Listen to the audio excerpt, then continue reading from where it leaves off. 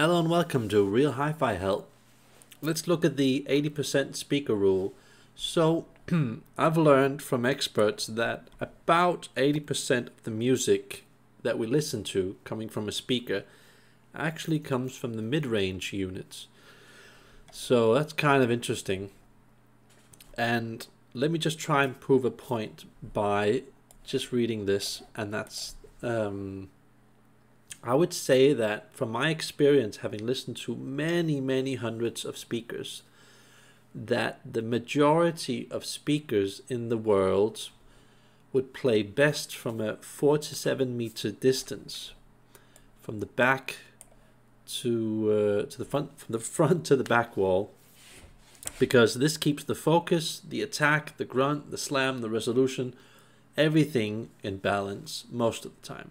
There are exceptions to the rule, of course, like with everything in life, but this is like the magic magic uh, room that you generally want to keep a speaker in, four to seven meters. And so what happens if you go within four meters? Well, I've tried it actually a couple of places and the sound becomes usually very uncomfortable because you're basically being pushed against the wall.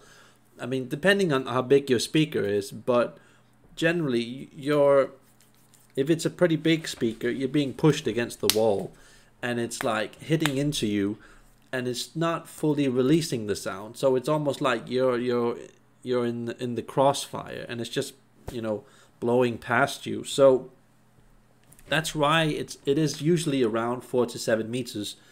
You want to be at the very end of where this uh, signal stops, but not too far so um, it gets bad in a different way. So yeah, it has to fully unload and that usually happens around four meters. You have to find out what's what's perfect for you. It of course depends on the room, the equipment you use, the speaker, everything, you know.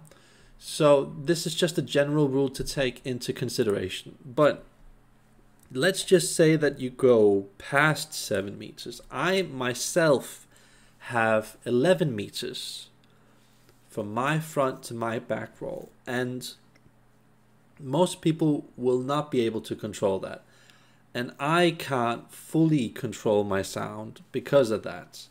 But I had to choose between a room that was about 4 meters perhaps a tiny bit less and one that was 11 meters. And I took the 11 meter one because this type of speaker is really um, revealing and and sends a very powerful signal. So having that in a 4 meter room would totally overwhelm me uh, it would be cool in one way but also um, stability wise it I just wouldn't enjoy it quite as much. So I would want a smaller speaker than the one that I have now if I had a 4 meter room. But having my speaker, I mean, ideally, if I had my speaker in a room that was 4 to 7 meters, probably I would say five, five and a half meters. That, that would probably be like, for me, the best solution. One of my friends has an audio note speaker and he only has, I think, four, maybe four and a half meters, and it's just you know it crushes you like oof oof oof. But at least he's got blinds at the back, and he's got a very good talent for tuning the equipment. He's just very good at, at dealing with his overall system, so he can get away with it. Okay, it sounds actually fantastically good at his place. So yeah, but if, if he had like a brick wall and it was only four meters from the front to the back wall and he had an Audionote, a top audio note speaker like me, I mean, my God, would it just wreak havoc and just create so much chaos. But he had blinds uh, at the back because there, there's windows at the back, so he can control the sound a lot better than, than most people that just have like a flat wall and nothing on the wall. So Again, that also matters what you have on the back wall. dealing with all the reflections. So yeah, let's just say that you go past seven meters. So what happens? Usually with most speakers, when you go past seven meters, the bass sucks out and it's like someone is is gradually turning off uh, the bass the more that you move away from seven meters. So let's say that you're from seven meters. It might be okay at that point but if you move like eight nine ten meters man will you miss out on a lot of bass and the problem is that you will also lose a bit of timing because there's just such a big difference. So the the focus the immediateness having all the detail come together, having it all make sense, creating that uh, crispy, fast response, it, it becomes very difficult because the treble, the mid range, and the bass have a tendency of like going away from each other.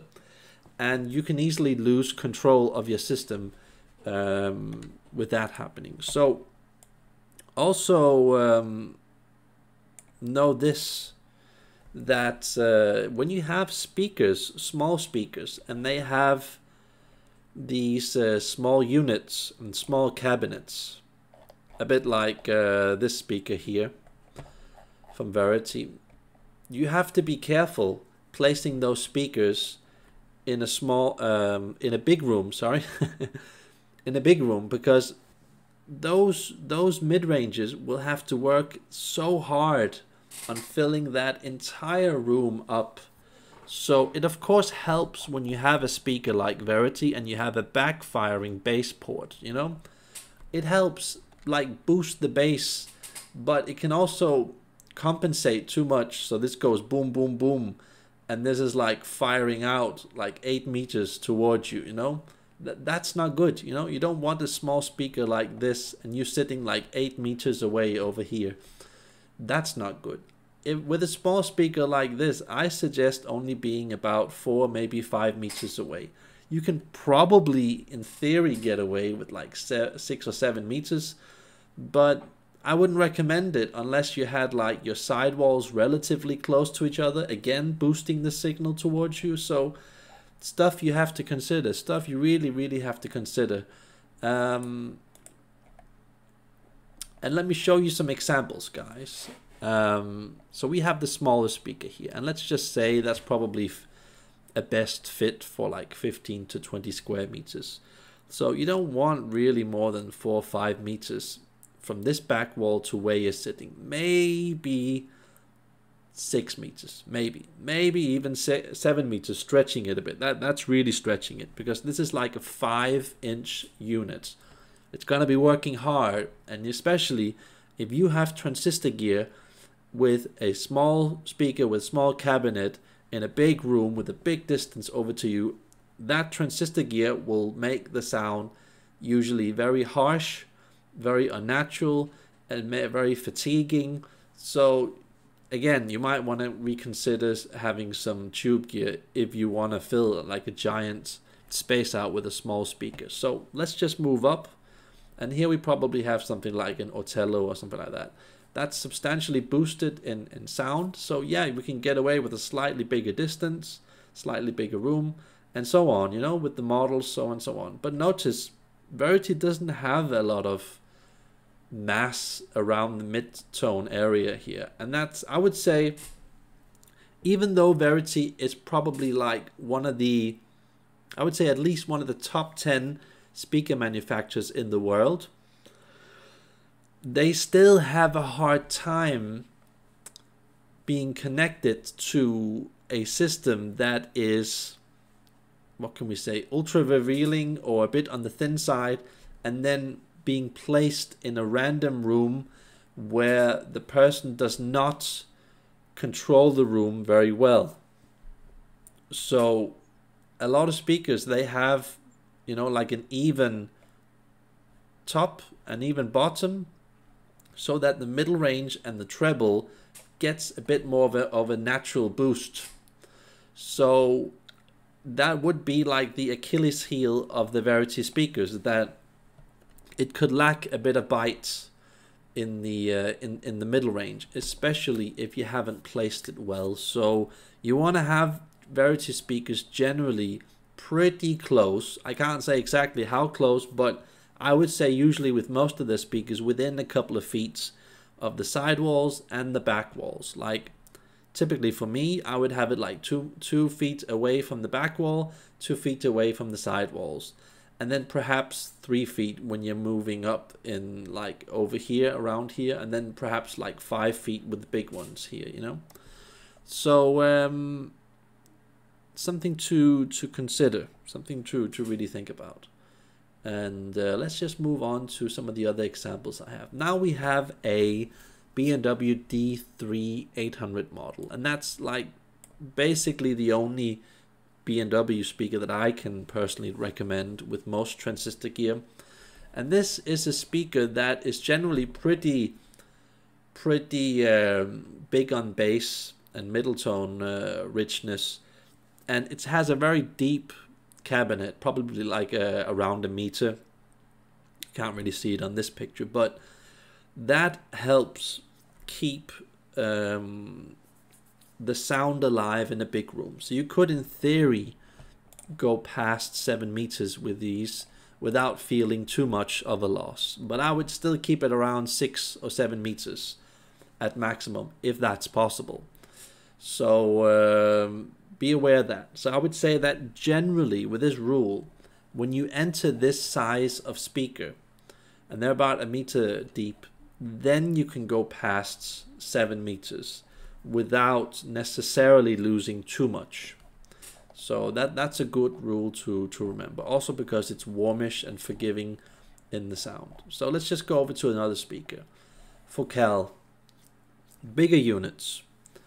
And uh, probably here, yeah, you could in theory go to like 7 to 10 meters with this uh, speaker, but I wouldn't do it. You know, personally, I would I would stay at the 6 to 7 meters, perhaps 8 meters distance for the perfect balance. So um, that that's just very good to remember. And um, one thing you have to be really careful with when you have a, a speaker with a lot of units when you place a speaker with a lot of units freely outside from the back and the side walls and there's a huge distance from the front to the back wall let's just say that's like 10 12 meters from the front to the back wall usually a, a, a um, speaker with a lot of units will just go nuts. It will just go pumping out sound. It will be so difficult keeping it under control making it musical, making it organic. So I, I highly suggest that when you're dealing with speakers that have a lot of units, don't go past 7 to 10 meters. You know, um, even though it's big and has a big cabinet and it's pretty powerful bass and all of that, try and still keep it within just within 7 meters if it's possible because um, a lot of units on a big distance that can create a lot of chaos where they just don't work together all the units. So even though it's a big speaker here you know the middle ranges here aren't really that big. I'm guessing they're like four inches or five inches you know? And that's not a lot. It's not a lot because then the bass is going to basically be um, compensating for the mid-range. It won't be a perfect uh, timed experience. So uh, be be careful of that. Be really careful of that. So yeah, I mean we're moving into the the the really exclusive class of speakers, and this is like the old model. I think it's called Rockport Arrakis, and it's a huge speaker, very powerful, very warm in sound, still very revealing. Fantastic speaker. I also wish I, I had a speaker like this notice that it also has these like giant i think it's 15 or 18 inch um, drivers here. Crazy. I think it's inside and on the outside. Crazy speaker. Um, but again you have to be careful with this you know and notice the fact that these drivers are actually going towards the uh, the vinyl equipment here. So that that's obviously not good sound wise that's gonna get into the uh, the source material and you're going to hear it somehow. But when you have this size of speaker, it's easier getting away with having more than seven meters from the front wall here to the back wall where you're sitting. And I think this is actually a pretty decent uh, setup that he has done, except for having the like the vinyl over here and then the bass just pumping like boof, boof, boof. That's gotta be disturbing, but you could in theory place this like half a meter to a meter more towards the back wall. I know he has like a weird wall thing going on here, so that could probably be something that he's trying to avoid.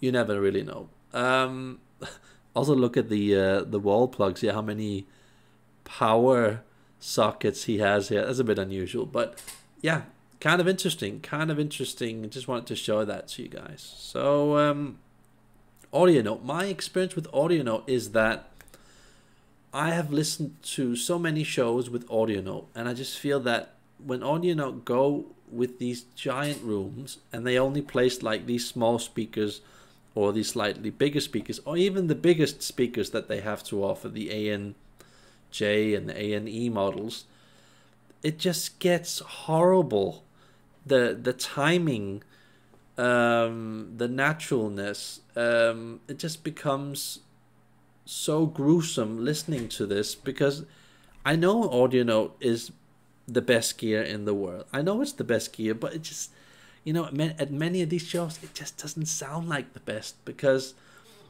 I mean, many times there's like six, seven, eight, nine, ten meters from the front wall to the back wall. And you don't want that with Audio Note. Audio Note is a bit special. And this is just my personal opinion. I know that everybody's uh, different, but I feel that four to five meters, that is ideal and having a piece of furniture in the middle that isolates the sound and perhaps stretching it to 7 meters. That will probably fully unload it, but still in, in a balanced way. I feel that once you move past 7 meters, even with, with the bigger models that they have, I mean, you can get away with it probably 7 to 10 meters with like the biggest models that they have, like ANE um, Sogon, uh, Sotu model, you know, those insane models that almost no one owns on Earth. There, there's so much pressure that you can get away with probably seven to ten meters while it still sounds good. But gen, but you know, generally all audio speakers four to seven meters. Keep it there. You'll get so much better sound. It will um, make it a lot better, a lot better.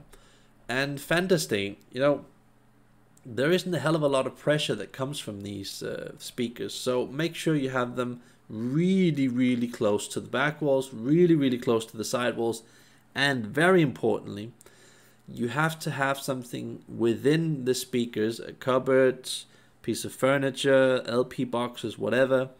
It really helps these speakers put out some pressure because these speakers do not have a cabinet. They are open uh, fabric design here and over here. So they need a lot of help around them to sound really, really good. So four to six meters, that's like the ideal spot for me, what I consider. And the same with the Big Brother. It's like, again, four to six meters, maybe seven meters. Um, don't go past that. That That's my experience.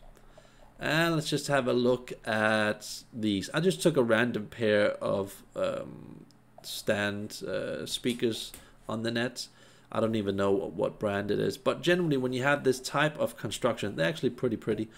Um, when you have this type of construction here, you don't want to have um, like like a giant um, amount of meters from the front to the back roll. You know, speakers like this that already are pretty rolled off in, in general with all bookshelf speakers they're they're pretty rolled off and they don't have a lot of bottom. And if you start putting them in a big room man is that bass gonna suck it even more out.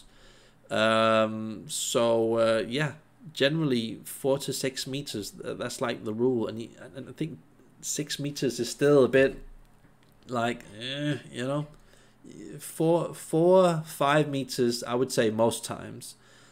Six meters, that's stretching it a bit, and seven meters, that's like almost impossible because I feel that with most stand uh, bookshelf speakers, that it just thins out the sound too much. Already at around seven meters, you can already feel it totally deteriorating and falling apart. You need like um, you need generally a, a really big floor standard speaker to to pump up to seven meters and perhaps a tiny bit past that. So again, with these things, you know, satellites, uh, surround speakers, again, four, four to five meters in general, probably only like three to five meters if they're really weak and, and pathetic. And, and yeah, even though you have a subwoofer, your it still will do compensation sound while this is all over the place. So I mean, you can get away with it more because you can have a subwoofer, but still there's, there's going to be a time lag. These are not going to cover a lot of sound. Um, yeah. But then I can now we get into something very exclusive that almost no one owns on, on planet Earth, and that's Peak Consult. Peak Consult makes some crazy powerful speakers. There's a lot of pressure in these speakers.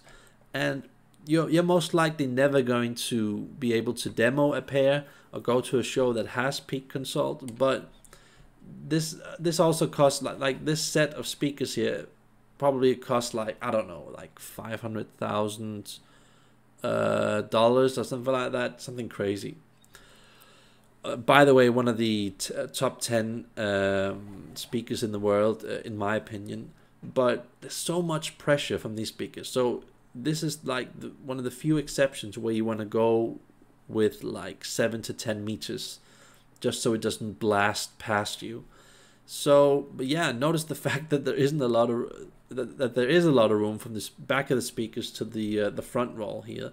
So I would actually it's, it's an insane amount of gear. I would actually stack all of this closer together, like up here, and then I would take it perhaps like a half a meter to a meter further back, just to make the sound more digestible and accessible, so it doesn't shoot past the listening position. And I would actually uh, ankle the speakers a bit in to keep a better focus, because the sound has a tendency with most speakers, if you just keep them flat like this, most speakers will just sound irrelevant, not focused, uh, kind of all over the place, and it just sound like a completely different speaker compared to slightly in or a lot in. So you have to kind of figure that out with your particular speaker. So um, let me just see.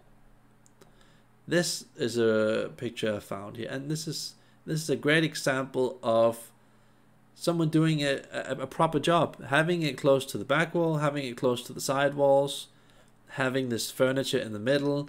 It helps keep so much control over the sound and make it so natural and organic. If you were to remove this thing in the middle, the sound would be a lot more chaotic and more about the sound effects like look at me, look at me, sound effects, sound effects, sound effects. And it will just be shouting more and and and kind of uh, working against the music. So um, yeah, that's a great example of how to do it. And uh, you know, we've got some nice furniture here, creating a bit of natural lag in the room. A bit of furniture over here and here. Okay, there's glass, not necessarily the best thing you can have, but again, all of this stuff kind of acts like a like a time delay mechanism that makes the sound more digestible. So uh, yeah, worth experimenting with that and um, good room, good room. And here I just wanted to show you guys a picture that I found that there's no sidewalls. If you don't have sidewalls and you don't have internal walls here, I mean this could like half count as an internal wall, this sound would become very mechanical, bright, thin, and irrelevant. So if you're stuck with this position, at least if you have a, a, a, shorter distance to the, the ceiling, it will keep the sound more in check. So something to think about. And I found a picture of Marten Design speaker and I just wanted to show that Marten Design are usually a bit better than uh, Verity speakers at maintaining the pressure in the room because they they have a bigger uh, what's it called deeper cabinets for all of their units, especially the treble and, and the mid range. So it keeps the sound generally um, giving it a bit more pressure, a bit more grunt, a bit more attack. And um, I think a lot of people, especially listening to harsh music, punk, metal, rock, um, pop recordings that uh, that aren't that good, I think that going they're going to appreciate the Marten design uh, way of of solving a problem because you can more easily use this in a bigger room compared to the the Verity models that we saw previously. If you had to use a Verity model in a bigger room, you probably have to go like with the Amadis, Sarastro, or the Lohengrin for it not to get too polite and thin and out of control. So it's something to take into consideration. These are like better for a smaller room. And I would say that generally, when we're talking about the good models of a Marten design, I'm not going to talk about the uh, the bottom models. Like most speaker manufacturers, I don't care about bottom models because most of the bottom models of most speaker manufacturers are crap. And I'm just going to say it's crap and we shouldn't focus on that. And nobody should own that type of stuff if they can avoid it. They should try and go with stuff that's closer to the mid range and perhaps like close to the top. But I mean, money's a limit, so we can't all all be um, getting the uh, the good gear. So yeah, try to to to find these models. Generally, when you're looking at speakers, have some have just a model that has a big cabinet. I mean, sounds stupid, but a big cabinet usually helps a lot with stabilizing the sound and making sound travel better in a bigger room. So I would say that's like one of the big advantages of having a Marten design speaker is that it's easier filling up a room that's 25 to 35 to 45 square meters compared to some other similar uh, class of gear like um, Verity or I wouldn't say Audionote, but some some other brand in, in, in, in that class. So worth considering. And uh, like here, von Schweikert speakers. I haven't heard a lot, but uh, just look at how deep they are.